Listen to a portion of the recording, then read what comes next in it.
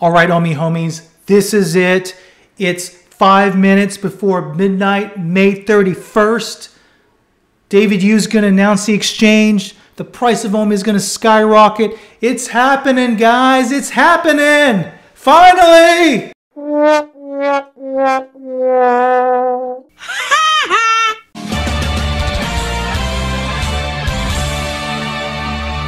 Hey guys, my name is Dan. Welcome to my show yet again. Today I wanted to talk a little bit about OMI token price. We've actually had a pretty good month last month. I know the community was expecting an exchange listing, which we didn't get. We learned that that was probably the result of some technical difficulties related to GoChain. But regardless, we did get a lot of other good news. We got the formal announcement of the VeVerse. We will receive that in 2021 in some shape or form. We are migrating to Immutable, which should open up a lot of possibilities, especially in terms of other exchanges, perhaps. And the drops, though they weren't what we were expecting, they performed very well. The app actually performed extraordinarily well compared to even a couple months ago. So you know the team is doing a good job. Now you would think with all this good news that maybe OMI price should have gone up a little bit.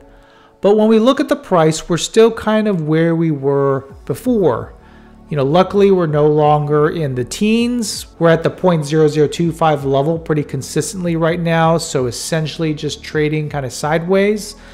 Uh, why hasn't the price gone up? I want to explore that with this video today. But before we begin, if you like this type of content, please like the video, subscribe to the channel, hit that notification bell so you'll be notified exactly when I put this out. Now let's get back to the show. So we all know that OMI has been a pretty painful investment to have almost no matter where you bought it at. Uh, especially if you bought at the highs, you're down like 75%, maybe even a little bit more, maybe 80% down.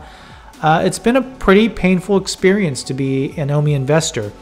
I personally bought, I think my first entry point was at the 7 7 range.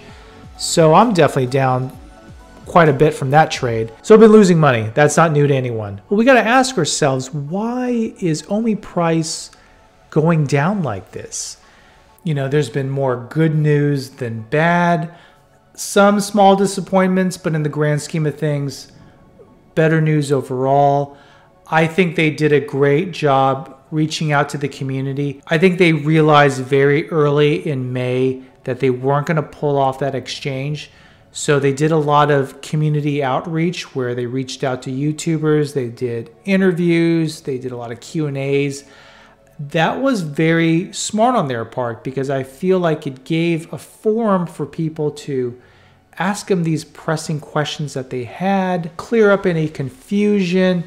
It was really, really smart. I would have expected us to be testing the 0.0035 level and not the 0.0025 level. And I actually think there's a very easy answer to this question. Why doesn't the price of OMI go up with the realization of good news? And the answer to this is staring us straight in the face. So if we look at Twitter, we can go to OMI data here. We see a bunch of OMI related statistics.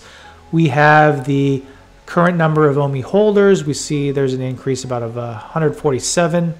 We see how much OMI has been burned, about 3.3 million. We see the current status of the burn wallet, 5.3 billion. 103 billion tokens burnt altogether, and the current circulating supply. So, this is the reason why I believe OMI has not gone up in price, correlated with the amount of good news we've received so far. There's just a lot more tokens floating around. So, if we look at CoinMarketCap data here, we see that the current circulating supply is 166 billion OMI, which obviously is not completely true the statistics the statistics represented by OMI data is, is a little bit more accurate, more up to date there. So what we can see here is that OMI price has stabilized even with this good news. And the reason this price has been relatively stable is because our current supply of OMI has been increasing. If there was no increase in the OMI circulating supply, we would probably already be at the 0.0050 level as opposed to where we are now. Now, is that necessarily a bad thing?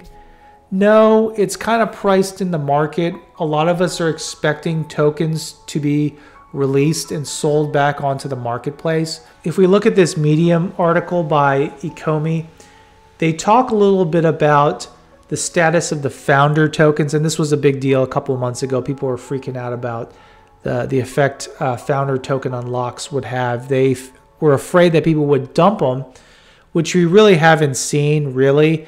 I mean, we were expecting some sales of tokens, so that's reasonable.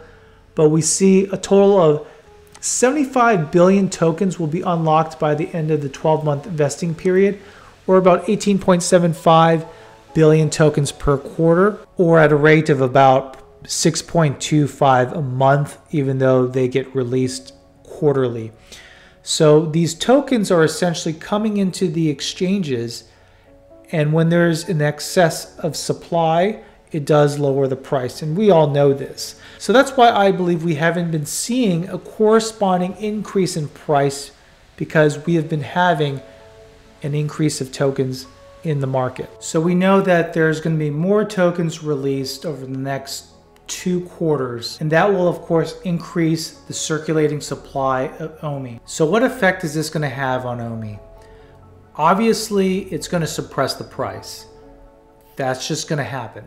And I think that's why they started putting out a lot of good news, what to expect in the future.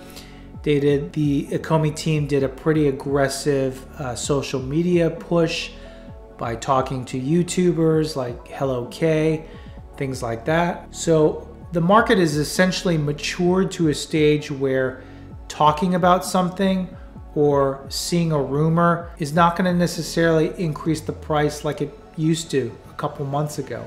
It's just not. I think OMI investors, VeVe NFT holders, they're not going to get excited about something unless they finally see a product. So, how does this change my price predictions for 2021? I still believe we can hit 5 cents. It's still very possible. I think a range for me is about 2 to 5 cents by the end of 2021. And even though we've had a lot of good news, there's still a lot of tokens in the marketplace.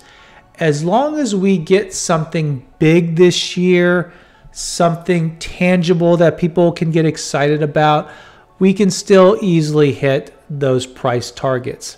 And if you do the math right now, if you were to purchase OMI at today's prices at 0.0025 and we end up hitting 2 cents, man, that's still 8 times your money in a year. That's really really good.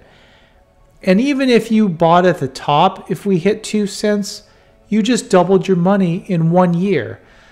I mean, that's still really, really good. I just think sometimes we get spoiled. We think that we should be getting Dogecoin returns, and that's not always the case. And most cryptos, in fact, don't start off that way. You can even look at Bitcoin or Ethereum. They didn't start off skyrocketing from day one. It took them a while to get into these huge valuations that we see today. So so guys, don't get discouraged by the fact that you're holding OMI, price hasn't really gone up, still staying at pretty consistent levels. Good news is happening. Just continue to hold. Remember, a lot of us got into this because we have a long term view. So don't let short term fluctuations scare you off from holding OMI long term. This is still a very, very good project. It's my largest low cap altcoins right now. And I believe this investment is going to pay off for the vast majority of us. So, guys, just continue holding. Anyways, I hope you liked the video. If you like it, please consider subscribing to the channel and comment down below. What are your thoughts? Do you have any idea why OMI is trading pretty flat like it is? Let me know in the comments. See you guys.